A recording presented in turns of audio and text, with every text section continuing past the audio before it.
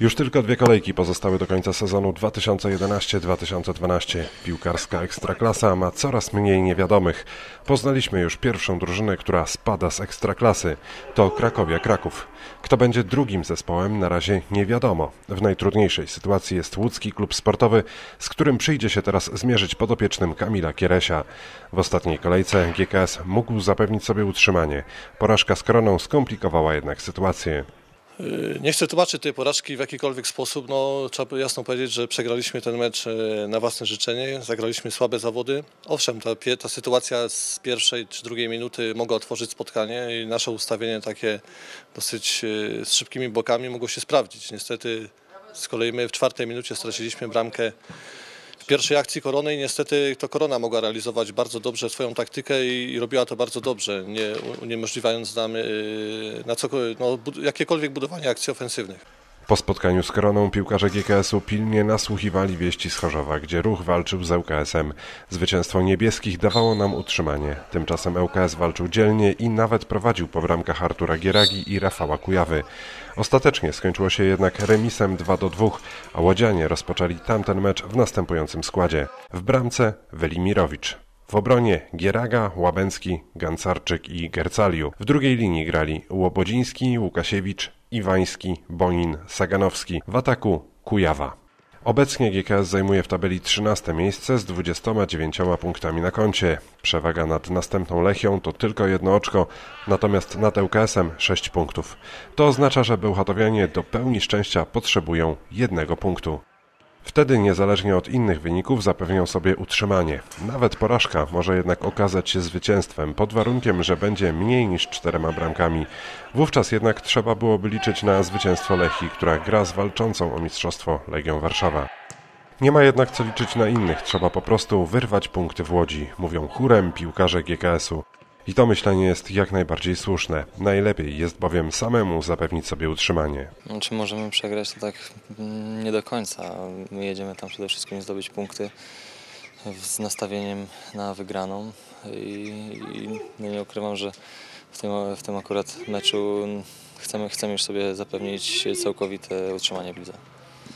Jak ten mecz może wyglądać? Bo ŁKS, tak jak mówiłem, potrzebuje punkty. Rzuci się na Was od razu, czy nie? Czy, czy będą to raczej się tak gdzieś czaić? To jak ŁKS wyjdzie na ten mecz, to, to, to wydaje mi się, że żaden z nas się tak za bardzo nie skupia akurat na tej drużynie. Bardziej skupiamy się na tym, jak my będziemy wyglądać od, od początku, od pierwszego gwizdka.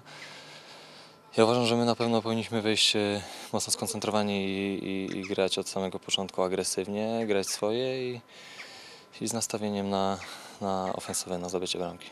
No na pewno cały ten sezon jest dość specyficzny, ale nie patrzymy pod tym kątem. My tam jedziemy na pewno powalczyć o punkty. Punkt daje nam tak samo pewne utrzymanie, ale chcielibyśmy zakończyć ten sezon w jakimś takim pozytywnym akcentem i na pewno ta porażka u siebie z Koroną Kielce chwały nam nie przynosi. Mecz bardzo słaby, przegrany i pokrzyżowało nam to szyki, bo nie ukrywam, że liczyliśmy, że po tym meczu będziemy mieć już pewne utrzymanie. Wciąż o utrzymanie walczymy i na pewno chcemy się pożegnać z, kibica, z kibicami w tym sezonie właśnie jakimś pozytywnym akcentem, a przede wszystkim wiemy, jak dla kibiców GKS-u taki mecz z, LKS-em jest bardzo ważny i na pewno dla nas e, również w szatni jest pełna koncentracja, motywacja i liczymy tam na trzy punkty. Tak się ułożył ten terminarz, że na koniec zostały Wam dwa ostatnie zespoły z tabeli. Więc nawet gdyby, gdyby nie daj Boże, potknęlibyście się e, w Łodzi w meczu z ŁKS-em, to jeszcze zostaje Krakowia, która już szans na utrzymanie nie ma.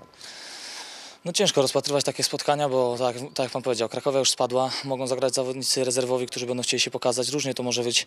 Czasem na takim ludzie gra się lepiej, dlatego my musimy być pełni skoncentrowani. Y, Jestem pewien, że z, tymi, z obiema tymi drużynami jesteśmy w stanie wygrać, bo uważam, że jesteśmy zespołem lepszym od tych, od tych drużyn. I wszystko jest w naszych nogach i nie ukrywam, że też może i dobrze, że mamy takie zespoły, bo nie musimy patrzeć na nikogo innego. Nawet gdyby była jeszcze cięższa sytuacja, zawsze patrzyliśmy pod tym kątem, że te dwa ostatnie mecze to wszystko będzie zależało od nas, a nie od kogoś innego. Nie będziemy musieli patrzeć, bo wygrywając z tymi drużynami to jeszcze im odskakujemy. Ja mam świadomość, że jedziemy do zespołu, który, który umie grać w piłkę, który ma swój potencjał i, i to nie będzie łatwe spotkanie. To spotkanie będzie dla nas bardzo trudne, będzie wymagało dużo poświęcenia, yy, przede wszystkim pokazania naszych najlepszych umiejętności i- no i przede wszystkim charakter w tym meczu. To, to, to może do, mieć bardzo duże znaczenie. A jak jest z atmosferą w zespole? Jeżeli chodzi o zespół, to bardzo szybko w w pierwszym treningu sobie powiedzieliśmy, w, jakiej, w jakim momencie jesteśmy, w jakiej sytuacji, bo, bo życie jest takie, że trzeba się mierzyć z rzeczywistością, z tym, z tym, co cię spotyka danego dnia. Także mamy świadomość tego, gdzie jesteśmy i zespół ma też tego świadomość i będziemy dążyć do, do osiągnięcia celu. Wiadomo, że w Łodzi nie zagra Mirosław Bożok, który z zespołem nie trenuje, ale za to bacznie kolegom przygląda się z trybun. Ostatnie dwie kolejki rozgrywane są obligatoryjnie w tym samym terminie. Wszystkie mecze, w tym ŁKS-u z GGS-em, rozpoczną się w czwartek 3 maja o godzinie 18.